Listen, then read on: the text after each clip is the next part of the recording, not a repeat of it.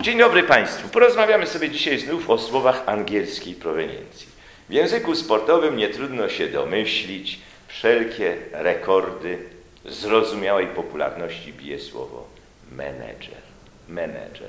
Ta wymowa jest dzisiaj najpopularniejsza, całkowicie spolszczona i mogę ją Państwu polecić. Menedżer, menedżer. Wygrał frekwencyjnie i bardzo dobrze, że wygrał. Spolszczyliśmy to słowo.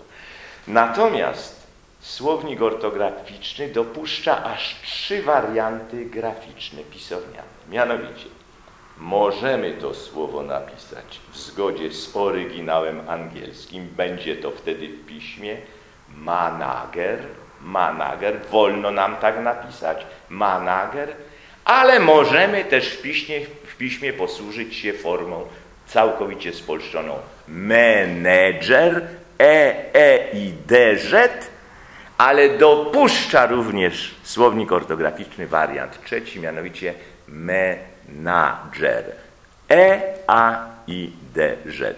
Podobnie lider tabeli. Można w zgodzie z oryginałem na angielskim napisać jeszcze leader, prawda? Leader, ale już zdecydowanie częściej od wielu, wielu lat widzę po prostu lider przez i. Lider przez i. Proszę Państwa, mówi się również często o coachu, prawda? O coachu. No, tak jak powtarzam dziennikarzom sportowym, jeśli 10 razy powiesz o rogu, a za 11, ra, ra, za 11 razem o kornerze, jest wszystko w porządku.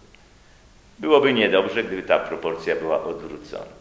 Jeśli 10 razy powiesz o spalonym, a o, za 11 razem o offside, też będzie wszystko w porządku.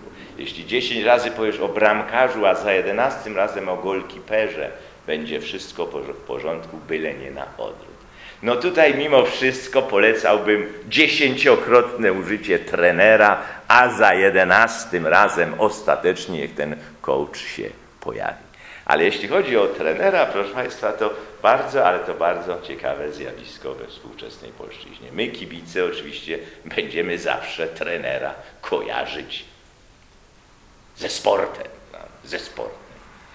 Ale proszę spytać dzisiaj ludzi pracujących w rozmaitych firmach, ludzi, którzy realizują rozmaite projekty europejskie. Jak już to jest europejski, to już musi być projekt.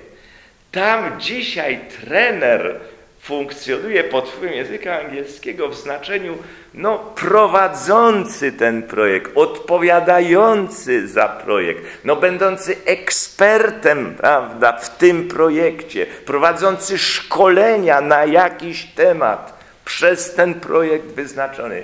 Tam się też o trenerze mówi, co mnie trochę śmieszy, nie ukrywam i razi, ale zdaje się, że już nic na to poradzić nie będę mógł.